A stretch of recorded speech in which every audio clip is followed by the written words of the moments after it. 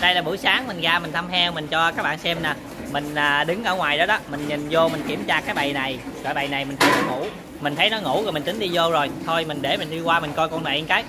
Trời ơi, bước qua coi con này ăn cái nó đẻ xong hết nè các bạn. Con này con heo tơ nè. Đây nè nhau nó còn nữa nè. Bước qua một cái thấy nó bú, nó nằm, nó bú hết trơn rồi. Rồi mình bước vô, heo mẹ nó mới tròn vậy đó. Mình chưa có coi là coi còn con nào nó rớt xuống dưới hay không nữa để mình kiếm cái sàn coi còn con nào hay không. Để mình à, kiếm dưới sàn coi à, còn con nào hay không nha. Để nhìn coi. Đó, nhau nó rớt xuống cả lòng thòng kìa. Mình tính đâu là nó không có xanh các bạn. Rồi sáng nay ra là nó xanh rồi rồi.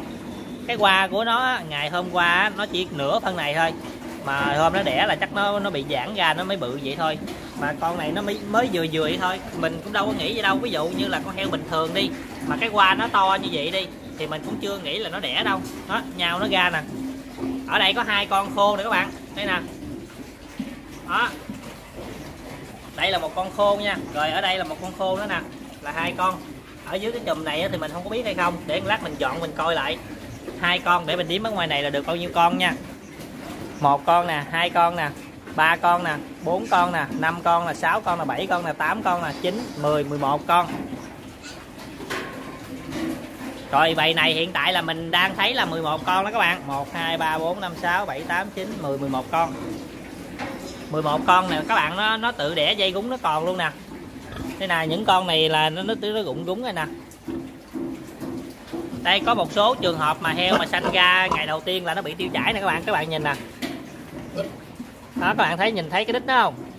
Nó chảy nha. Cái này thì cho uống amok giống như bầy trước là nó hết rồi các bạn. Nó, dây gúng nó lòng thòng nó bò đi kìa, đó. Nhiều con còn dây gúng lắm các bạn. Heo này là tự đẻ nha.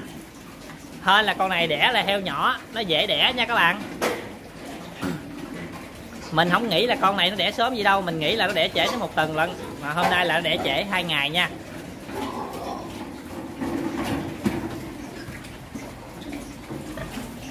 Cái bầy này thì một tí nữa thì mình à, cắt gốn cho nó ngắn lại cho nó đi đừng có dướng các bạn.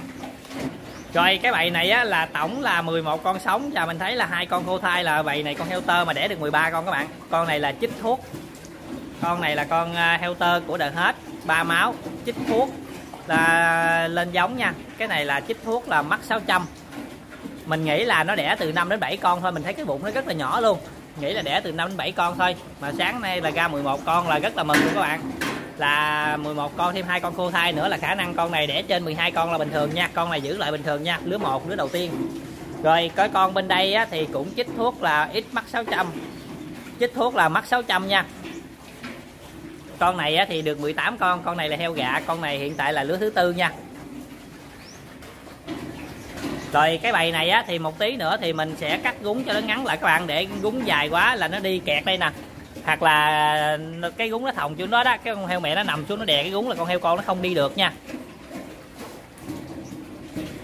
Gúng nó khô luôn rồi, con này chắc ờ, mình nghĩ là chắc nó đẻ ờ, 8 9 giờ tối á, gúng nó khô hết trơn rồi. Phải nó đẻ hồi sáng là gúng nó còn tươi rồi, nè. Nó khô hết rồi nè.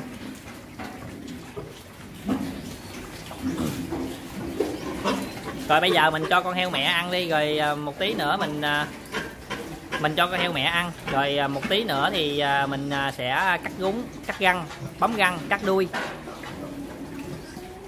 Chế độ dinh dưỡng của heo mẹ mà ngày đầu tiên các bạn các bạn chỉ cho ăn một ký rưỡi thôi nha. Ngày thứ hai là hai ký rưỡi ngày thứ ba là ba ký rưỡi ngày thứ tư là cho ăn tự do nha. Rồi, tại sao mà chế độ ăn dinh dưỡng như vậy á? Thì các bạn nhớ đón xem cái clip sau, mình sẽ chăm sóc cái con nái này 7 ngày đầu tiên. Và sẵn đây con nái này mới xanh thì mình sẽ chăm sóc, mình sẽ nói qua cái clip kia luôn nha.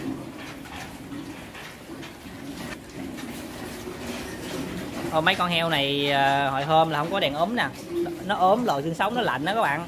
Đây nè nó ốm nó lạnh lồi xương sống hết trơn nè.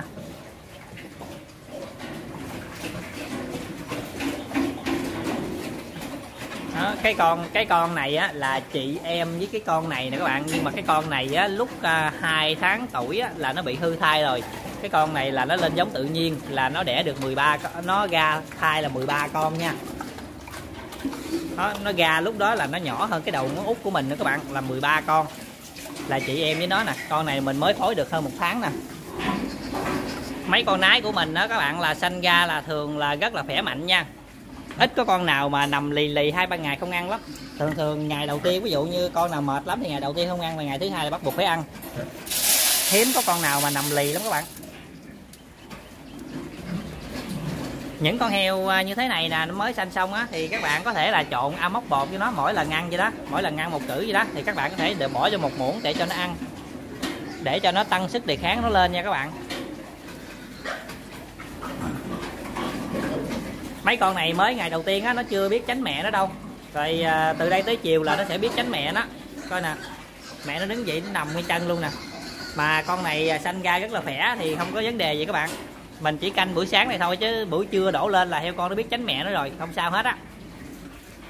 Bây giờ nó vậy đó, mình mình bây giờ bây giờ nó đứng lên vậy đó, chứ mình à, mình lấy tay mình dạt, mình đánh heo con là một lần, vài lần là nó biết, nó không loại heo mẹ nó nữa.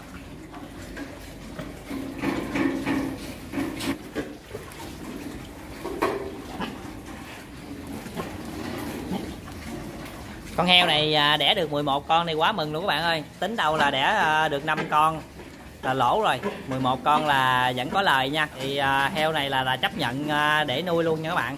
Con này dù cho lứa hai nó đẻ thấp hơn cũng không lỗi nha. Tại vì khả năng nó đẻ cũng cao hơn 12 con.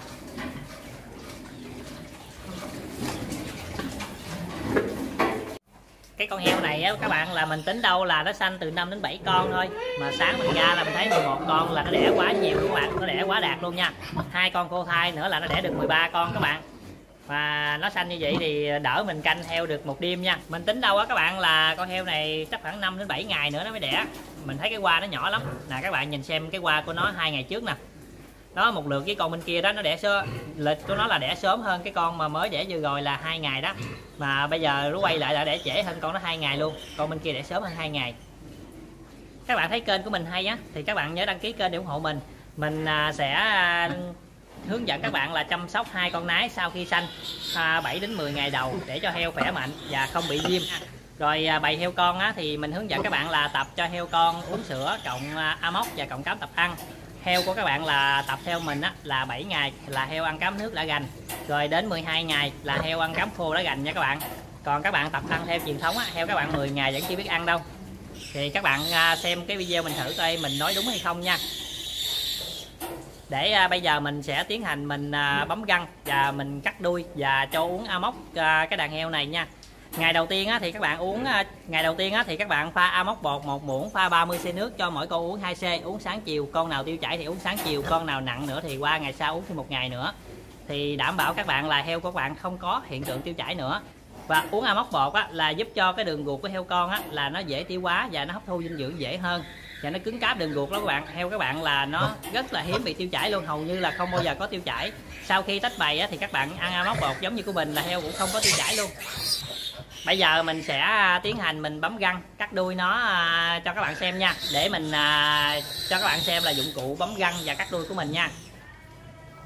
Bây giờ mình sẽ bấm găng và mình cắt đuôi cái đàn heo mới xanh luôn nha các bạn. Ở đây dụng cụ mình xài nè. Đây là cây kìm bấm găng nè các bạn. Cây kìm này rất là bén luôn. Kìm này bấm găng, còn kìm này là kìm điện kìm cắt đuôi nha. Đó chúng ta ghim điện lên, để cây kìm này nóng rồi chúng ta bóp, chúng ta cắt thôi. Rất là tiện luôn. Đây có công tắc báo đèn nữa nè. Rồi bây giờ mình sẽ à, tiến hành mình cắt đuôi, bấm găng rồi mình quay cho các bạn xem. Đây là đàn heo con của mình mới sanh ngày đầu tiên hồi đêm hôm nè các bạn. Mình đã bấm găng và mình cắt đuôi nó xong nè. Rồi nó quay qua nó bú rồi nè, mình cho uống amox luôn nha. Ngày đầu tiên là cho uống amox sáng chiều. Con nào không tiêu chảy thì, con nào tiêu chảy thì uống sáng trưa chiều nha các bạn bầy này là 11 con nha.